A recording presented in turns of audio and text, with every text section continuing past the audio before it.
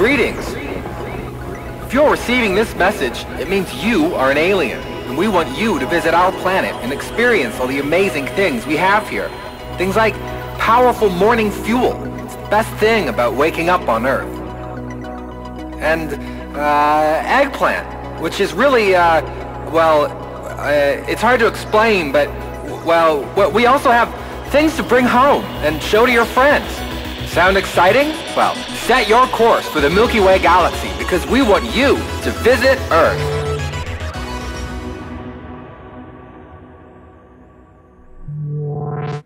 Hey, alien. When you look at our world all the way from wherever you are in the universe, you see this. But right now, when we look up to your world, all we can see is this. We call it sky. And it's really nice. And yeah, it's also really boring. But we have a special ingredient down here that lets us look at something like Sky and see uh, a big cat, one who just had a birthday. Depending on where you go on Earth, people will see different things. But we all use the same thing to see it. We call it inspiration. It's the amazing Earth stuff that transforms normal things into amazing things. Here, I'll show you. This is a field of wheat popular source of fuel for humans. Pretty normal, but add some inspiration and bam! Becomes a little square of cotton covered with chemicals that look like the field of wheat, but is somehow something more. Look closer. Whoa. Okay, next. This is a giant rock. It's, yeah, it's a giant rock. We call it mountain, but add some inspiration and bam, becomes a group of little humans with silky smooth skin. Actually, becomes a lot of little humans with silky smooth skin because that was a really big rock. Let's do one more. Animals showing off is a common scene here on Earth, but when we mix it with inspiration, bam! Humans are suddenly doing it too. Except when they do it, it becomes something else. Something special that we call art. This weekend only. We've got art for everyone. Everything must go. We've got fruit art, serious art, boat art, weird art, smooth art, drippy art, funky art, funny art, coffee art, old art. We even have art for dogs. Come on down and get some art. Everything must go. This weekend only. Art. What is it? That's a good question. Because almost anything can be art. Like this. Is it art? No, it's just a mango. What about this? Bingo! ART art. It can be so hard to tell the difference. Luckily, there is a human who can. I mean, they're the ones who make the stuff. We call them artist. Eh, l'ispirazione la trovo da tutte le parti, anche quando cammino, quando dormo. Чтобы найти вдохновение, я иду к людям. Вдохновение можно найти в себе. L'ispirazione la incontro nella natura. You find inspiration everywhere. Everywhere? Everywhere. Everywhere.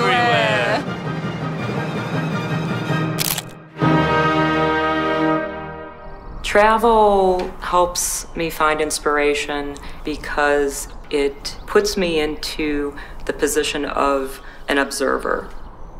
The reason artists is good at this is because they know how to find inspiration on Earth. And all they have to do is look.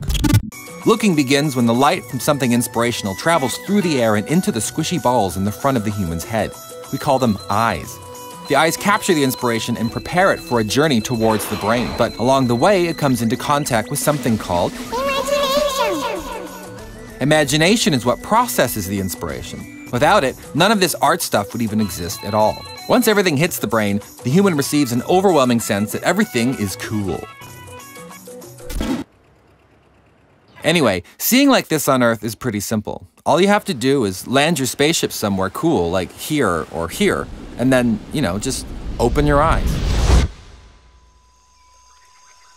And it's right there, where the light from sun reaches the end of its long journey to Earth. Wait, it's easier to find inspiration on Earth when you listen to this. Yeah, we call it jazz.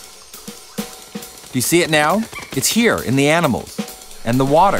You can find lots of it in these things too. We call them flowers. They're everywhere on Earth. At night, you can find loads of inspiration in the city, in the lights, in the machines, especially the ones that move.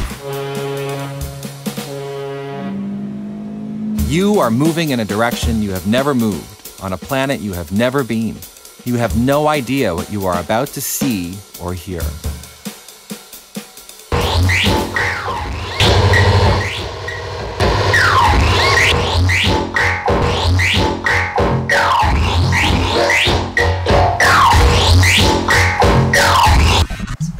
一番好きな音ですか一番好きな音はそうですね僕は普通に鳥の声とか一番好きかもしれません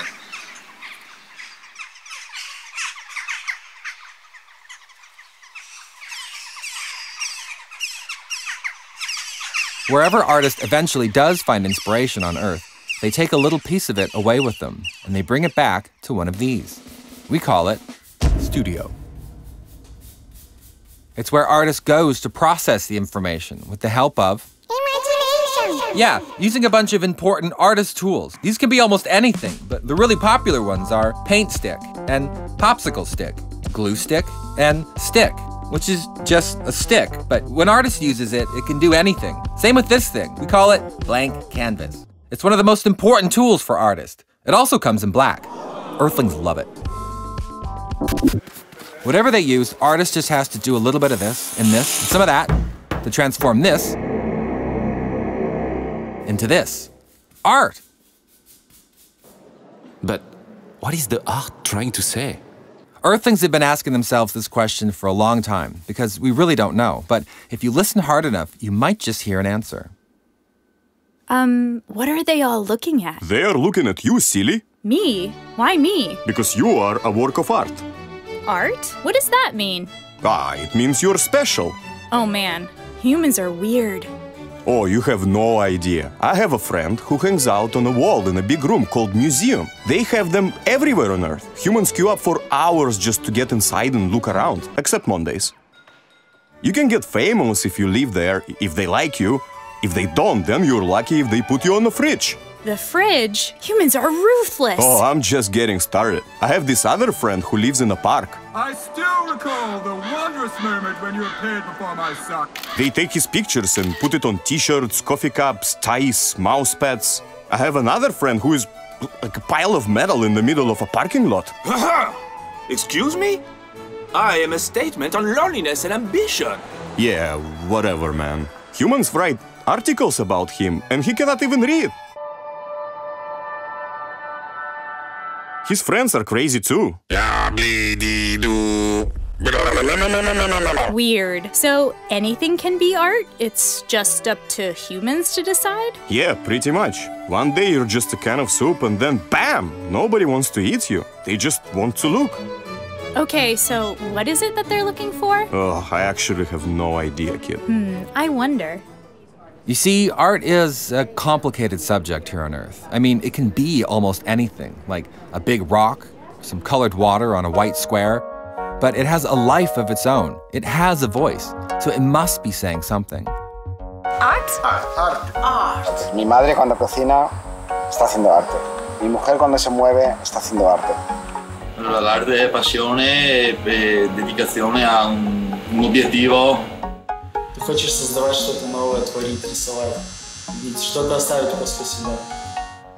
What art is trying to tell us is that there's more. There's so much more. There are entire universes full of colors that haven't even touched the squishy balls on our heads yet, and ideas that we've never had swimming around in our brains, and vibrations that have never crawled into our sound holes, like this.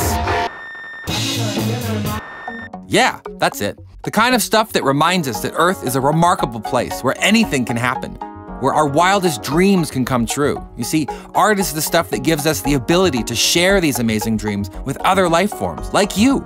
All you have to do is land somewhere on Earth, like here or here or here, and then open your eyes or whatever it is you use to let light into your brain. And when you find it, just break off a little piece and bring it back to your planet and make some art that you can share with even more life forms. So the next time you look at our world, or any world for that matter, you'll be able to see what we see, which is basically a universe that is exploding with inspiration. And yeah, it's all because of art.